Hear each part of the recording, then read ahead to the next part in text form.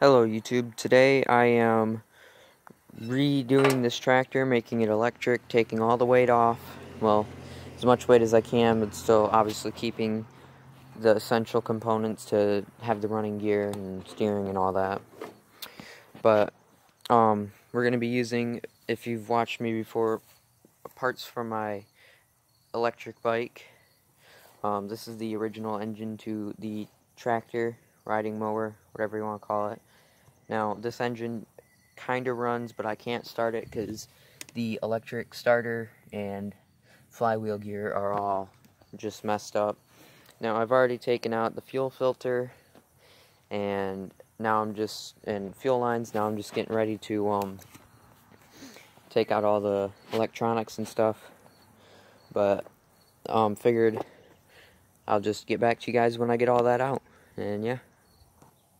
Okay guys, so I removed all the electrical except for, you know, the ignition and uh, the amp meter. Um, I did get the mower thing off except for this one. I can't get that one off. Um, but I removed all the electrical and some more bolts. Um, I couldn't get that little thing off because I couldn't get nothing back there to loosen those bolts. But um, other than that, mostly everything's off. I'm going to bring it over to the hose and wash it off and get all that crap out of there.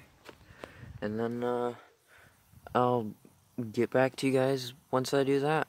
Alright, um, yeah. I just washed the tractor off. Now, I couldn't remember if I uh, showed you guys this or not. But, um, this is the cutout or what I'm gonna need to cut out for the motor and everything. This is just where the exhaust was and where I need to bolt stuff down.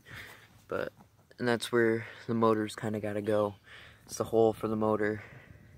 It's kind of where, you know, where the bolt's got to go and stuff. But, it's where it's going to be bolted down. That was a circle that I couldn't really get to. Yeah, and, um, I'll show you what it looks like now that it's all cleaned up. You know, it's got a, that's a flat tire, but got some bald tire, that's a flat tire over there.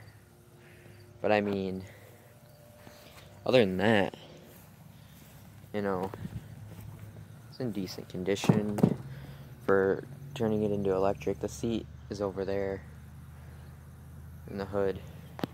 It's got a brush guard. I mean, the steering still works pretty good, so. Um, but yeah, it's all cleaned off now. I just gotta wait for it to dry. And until I can borrow my neighbor's, uh, one of my neighbor's drills to um, drill out the wood and put the electric motor in ain't for another couple hours now.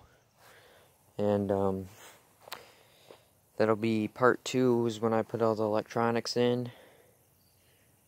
But uh, yeah, this has been video of me making converting my tractor into electric and uh, hope you like subscribe and comment and hope you actually liked the video hope you enjoyed it so Stay tuned for the next one, part two. See ya.